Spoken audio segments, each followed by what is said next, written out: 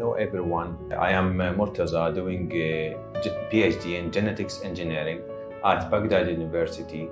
How did I come to find out the Histogenotech company? Actually, I was looking uh, online for websites, for companies, and the best place I searched in India, I searched in Turkey, I searched in Iran, many websites the best way was uh, for me to go to Iran and uh, to the capital city, Tehran. So I called uh, one of my friends here in Tehran and they advised me to go to a Histogenotech laboratory.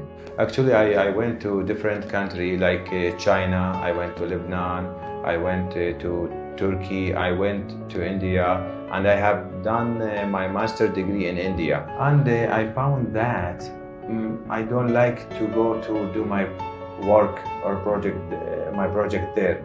Not because it is bad, no. But I found I am feeling relaxed and more comfortable with the people to do my work here, especially with this company. Uh, I feel relaxed and uh, uh, I can do everything in a proper way. Finish with the proper result, everything.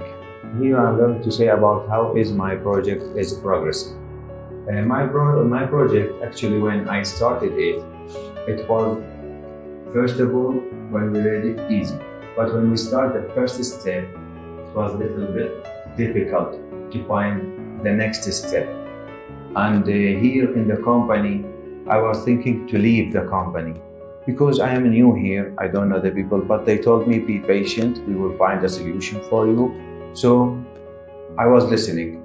But in my own thinking, I went out, I was uh, searching to find a, a, new way to solve it. But also, I found difficult uh, one more time.